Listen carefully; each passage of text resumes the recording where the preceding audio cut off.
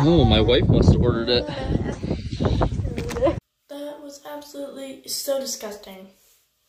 Disgusting. I'm sorry, it's just disgusting. Why? Why, YouTube? Why would you let this happen?